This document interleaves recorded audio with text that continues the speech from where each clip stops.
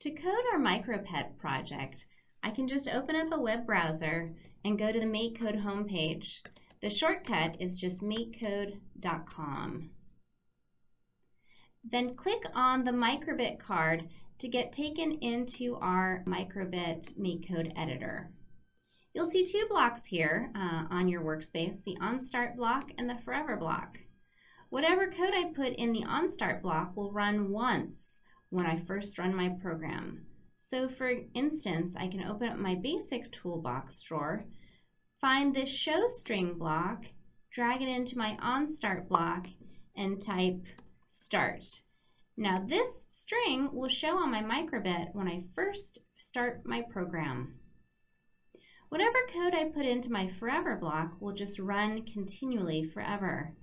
So for example, I can open up my basic toolbox drawer, find the show icon block, drag it onto my workspace and drop it in the forever loop, and then um, a, a heart icon will show forever after my start.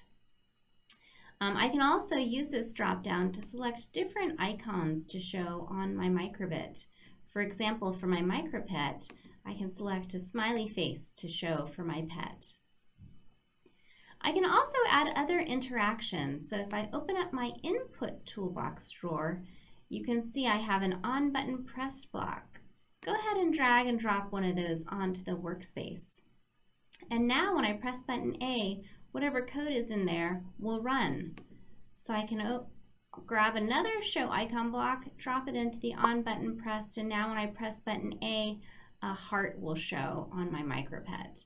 And you can see that here in the simulator when I press button A, a heart will show up.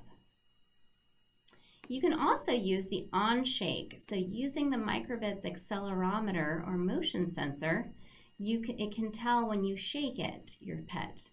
So we can also um, drag and drop this show LEDs block onto my workspace underneath my OnShake and I can design my own custom animation. So for example, my micropet doesn't like it when I shake him too much and so he's going to show a smiley face when I shake him. And again, you can test this in your simulator and you can simulate a shake just by um, uh, moving your cursor back and forth on the simulator or pressing the on shake button. And I can also press um, button A.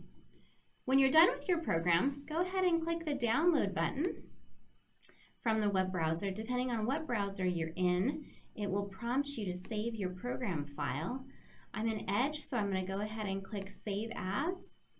And I'm going to look for my microbit that's going to show up as a USB drive in my File Explorer here. So you can see it just showed up here. Um, that's because I just connected it via the USB cable. So I'm going to select that D drive and select Save.